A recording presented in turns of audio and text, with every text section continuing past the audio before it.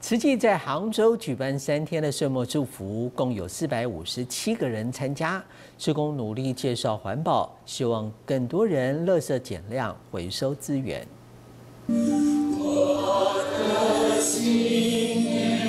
新灯传递慈济在大陆杭州的岁末祝福，形式上和其他场次没什么不同，但个人点滴在心头。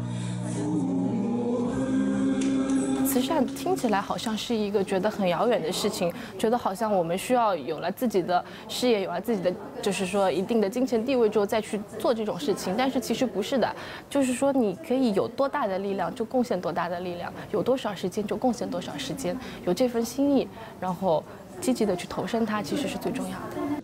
活在当下，付出在当下。二零一四年年底，慈济在杭州半山环保刚起步，一年多过去，改变当地人的生活习惯。一年下来，呃，大家猜猜看，我们回收了多少塑料制品？又有多少纸板？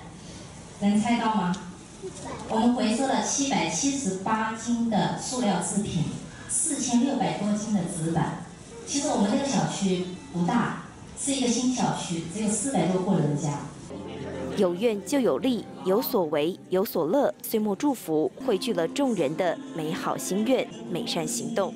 带新闻真善美之工浙江报道。